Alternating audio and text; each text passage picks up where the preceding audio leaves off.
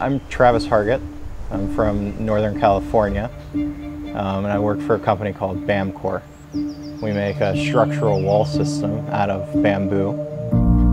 So we travel the world looking for what we believe is likely the future of structural fiber, timber bamboo. The experience working in BamCore has been really amazing. They care about their people and also about the communities where we work sourcing bamboo.